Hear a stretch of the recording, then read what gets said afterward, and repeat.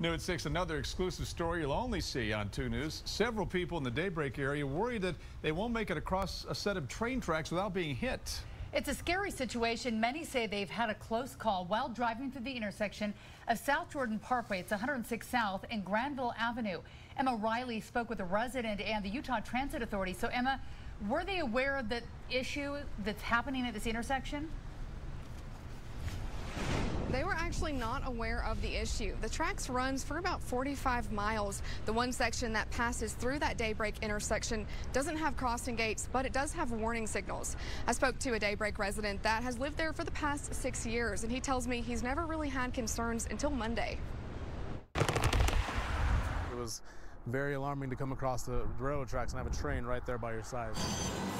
Elijah Radford was driving the same route home as usual, but yesterday was different when he crossed the intersection of South Jordan Parkway and Grandville Avenue. Came across the, the railroad track and I looked up the, the, very last second and there's a train just right here by the stoplight. In the six years that he's lived in Daybreak, Elijah told me this was the first time he had this close of an encounter with the train. Typically, as soon as they leave the station over here, uh, the, the lights will always turn red and uh, gives you plenty of warning, and, and the stoplight will turn red as well, but it didn't do that yesterday, and it was a little, a little alarming. And he isn't the only one. In comments on a Facebook post, some Daybreak residents say it happened to them too. One Facebook user wrote that she'd seen the train go through twice when drivers on the street had green lights. If they were going through the intersection and they had a green light and our train came close, that's something that we need to take a look at. The Utah Transit Authority tells me they weren't aware of any incidents or malfunctions. Spokesperson Carl Arky tells me they're now looking into potential issues at the crossing. The crossing does not have a gate.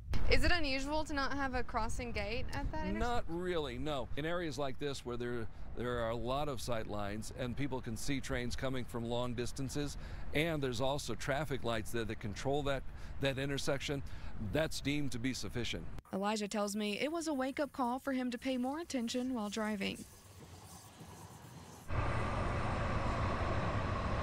The UTA tells me that safety is their number one priority and they're always looking to make these intersections safer. So if anyone notices anything or has any concerns, they're asking that you report it.